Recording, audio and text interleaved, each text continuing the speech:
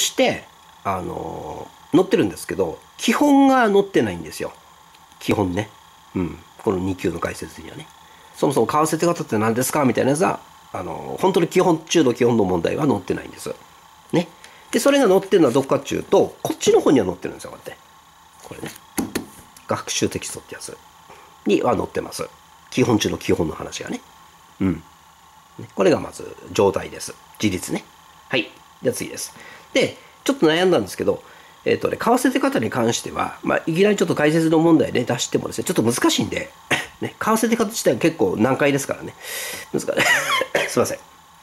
難解なんで、でちょっとあの、悩んだんですけどね、ここはちょっと学習テキストを参考、えー、にさせていただきました。解説じゃなくてね。学習テキストの134ページの、例題のね、5の8ってやつなんですけどね、あの学習テキストはこっちね。これちょっとベースにさせていただいて、ちょっと作りました。僕のオリジナルね、えレジュメで作りました。ね。うん。で、えー、基本的にはね、あの、為替手形って、あの、ちょっと昔の 2, 2章3級ね、にはバンバン出てたんですよ。本当によく出てましたね。びっくりするぐらいいっぱい出てまして、えー、かつてつっても、まだそんなに日は、あの、浅いんですけど、ね、えー、結構日は浅いんですよ。昔の2章3級っつってもね、3年、4年ぐらい前かな。うん。ぐらいまではですね、結構バンバン出てました。で、為替手方ができなかったら落ちてたぐらいですよ、2章3級が。ね。それぐらいバンバン出てたんですよ、この為替手方って。ね。しかしですね、あの、取材範囲が2章の方変わりまして、今はですね、2章2級も3級も為替手方も出なくなったんですよ。ね。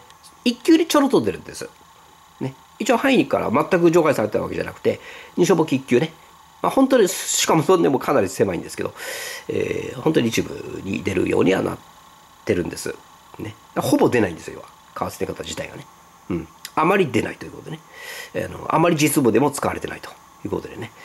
えー、まあ、一部ね、あのー、関西の、まあ、大阪の方ですかね、で、お酒を卸す業界、A の方ではね、ちょっと一部使われてるような、あのー、話は聞いたことあるんですけど、で、え、ちょっと僕は見たことないですよ。僕は見たことないですけどね。うん。でもね、まあ、ちょっとそういう話、ちらっとね、聞きましたけどね。うん。あの、19年公認会計士やってた人にちょっと聞いたことがあるんでね、あの、関西の方でね。えー、それちょっとね、あの、これ事実ですからね、あれなんですけど、えー、為替手方自体が私、実務ではね、もう本当にあまり使われてないんですよ。ね。うん。でもね、試験ではバンバン出てました。バンバンね、為替手方出てました。ね。で、2章3級で出てました。でも、もう範囲から除外されたんで、もうパタッと今当てません。2章の方でね。うん、ただ建設業はあの日照の範囲と関係ありませんから引き続き出題範囲には入ってるわけですよ。この為替手方がね。そして今言ったようにですね、えこの外説にはバンバン載ってるしほんといっぱい載ってます為替手方はで結構難しい為替手方も結構載ってます。ね。で、えー、外あのこの学習テキストにもこれは基本的なやつしか載ってないんですけどね。為替手方もね、えー、載っております。でその時に悩んだっていうのはですねなんでこっちの方したかというとこれね為替出方自体が、まあ、ほとんど出てませんからね、建設業の試験の方でも。ね、これは結構昔から出てないんですよ、為替出方はね。うん。だもんで、まあ、本当に建設業の方でもあまり出ないと僕は思ってます。基本的にはね。基本的には。ね、ただ、出てきちゃうと何にもできませんからね。で、びっくりしちゃうんで、あれなんだこれ為替手方ってっつってね、びっくりしちゃうじゃないですか。ね。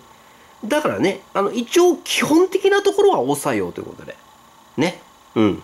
あの、外説に載ってるような複雑な為替って方は多分もう出てこないと思うんですよね。うん。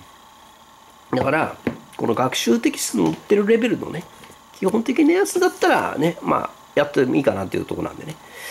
やってもいいかなっていうか、やっとけばね、あの、安心するかなっていうとこなんで、あの、うん。学習テキストのとる、つまりこれね、あの、僕が例題作りましたけど、オリジナル作りましたけど、の為替手方だったら多分大丈夫なんですよ。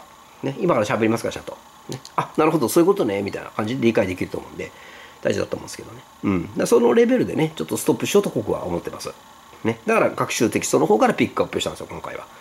本当は解説から一貫して出したいんですけどね、うん、ちょっとねあのここに関してはねちょっと解説のじゃなくてですね学習テキストの方あの参考にさせていただきまして、えー、作りました。はい。まあそういった経緯があるんですね。はい。ということでまあちょっと前置き休むぐらいしまして早速ね為替手方のね内容の方に行きたいと思います。はい。